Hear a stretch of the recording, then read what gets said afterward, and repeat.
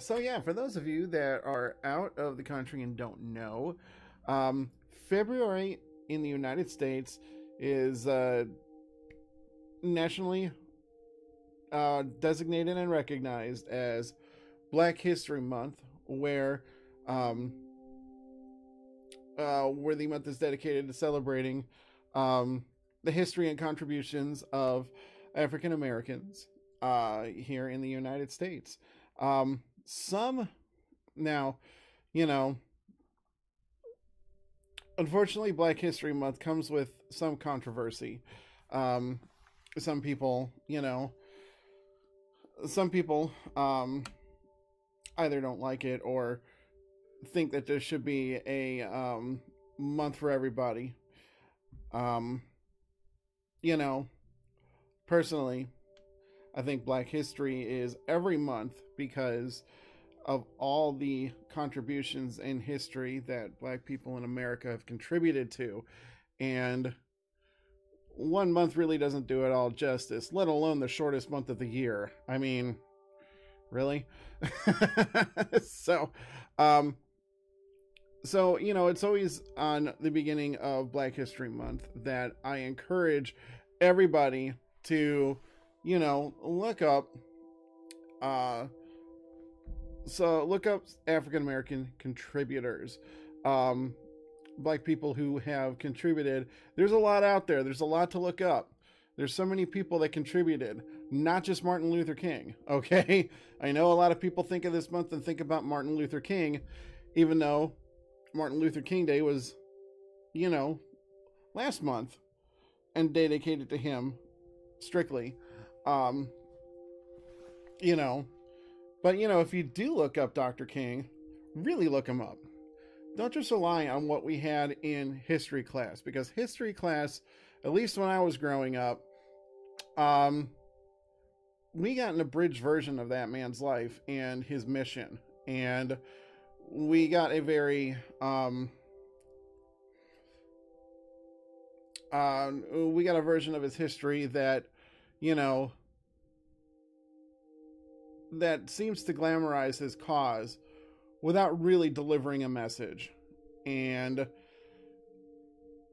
you know it's i mean it's kind of weird how that happens but you know uh, dr king wasn't just you know sanitized, washed. Yeah, yeah. I mean, you know, Dr. King's life and history and mission didn't just boil down to walking the streets with large crowds, giving the I had a dream speech, being tragically murdered, and then Lyndon B. Johnson signed the Civil Rights Act and everybody lived happily ever after. No, that's not, you know, that's not the that's not the complete story, and some of it is embellished. So really look him up. Really look up, you know, how this man grew up and came to lead the civil rights movement. Um, read on how his peaceful protests were actually met during that time. People among his crowds were also sprayed with fire hoses and, you know, had dogs on them sent by police. Okay. Read on how this man was viewed during that time. Okay. Some of you may not know this, but at the time of his death, MLK was the most hated man in the country. And most of those people that took that survey you know, they were in fact white. Um, look up how his views on riots changed during his time in the civil rights movement. No, he didn't condone it ever, but some of his views on writing did change. This is the stuff that we don't learn about. This is the stuff that we don't hear about you know. So if you're going to study MLK on this month, really study him. Really look him up.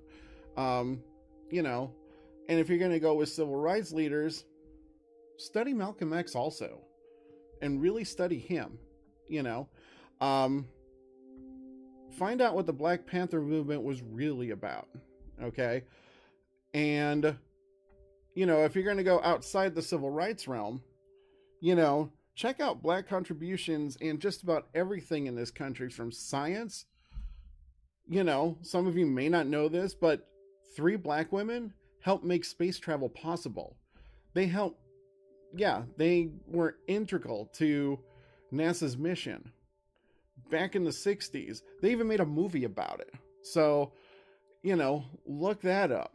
Um, look up all the musical contributions, the endless amount of musical contributions that black people have had, not just in America, but worldwide. I mean, the whole concept of syncopation, you know, was an African invention.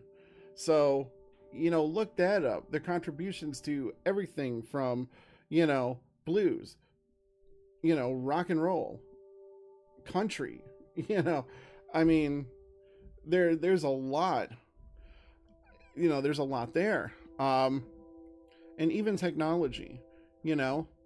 In fact every single year on this channel every single year um for black history month we pay homage to a man who really set the trajectory for home consoles and home video games um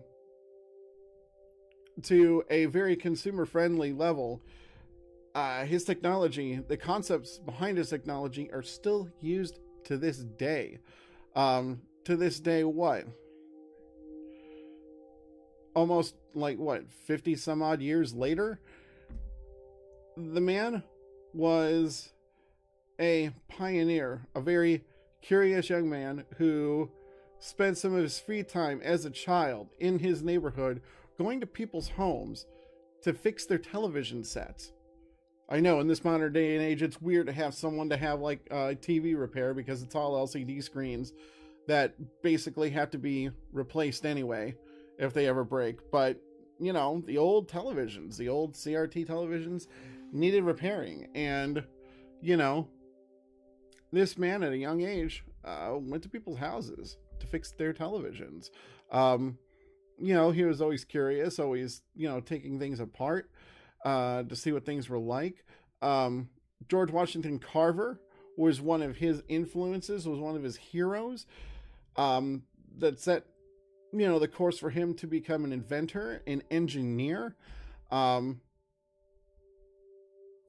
he went to two colleges, Queens College and City College. Uh,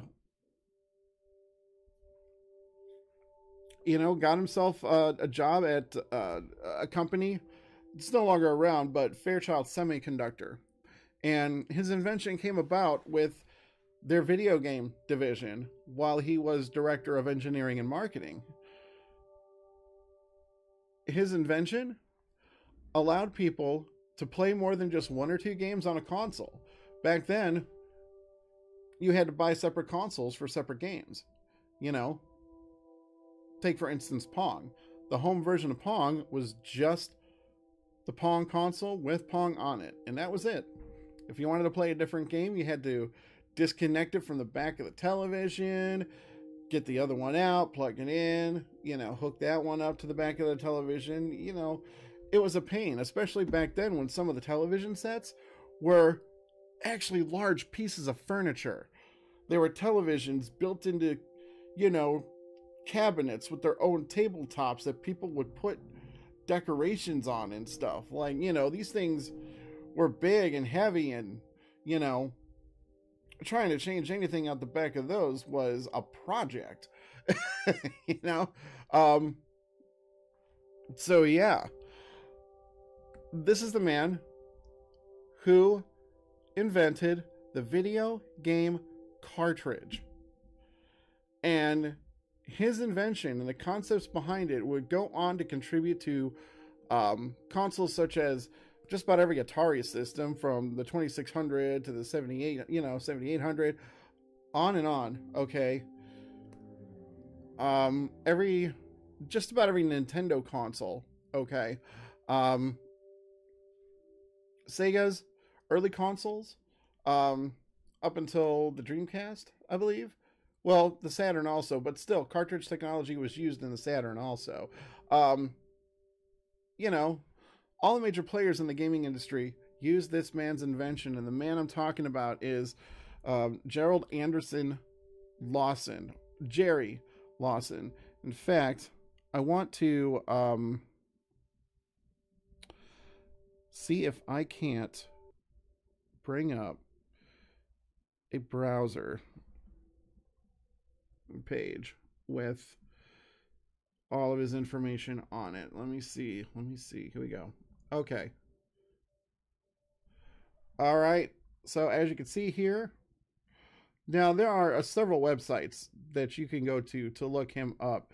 Uh, he's actually gotten uh, a little bit more notoriety, a little bit more, you know, he's gotten a little bit more coverage about his creations. In fact, so much so that, to my pleasant surprise and the surprise of many others, back in December of 2022, Google did a doodle for his 80 sec for what would have been his 82nd birthday. And it's a brilliant one too. How cool is that, right? I saw this and I knew exactly who this was and I was like, "Oh my gosh." Yeah, so this man is you know, this man is wonderful. He is a a brilliant guy who without his invention, who knows where, you know, the video game industry would have ended up you know, and who knows, you know, how it would have affected everything else in the gaming industry. Um, without his invention, there's a possibility that, you know, gaming on CDs may not have been discovered. Um, so it may have affected, you know, consoles like, you know, the PlayStation or the Sega Saturn or Sega Dreamcast or, you know, you know, even even like CD-ROM games. Um, so yeah.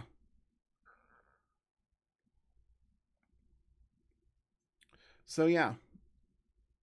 We have uh in the gaming world, we have a lot to be thankful for to this man.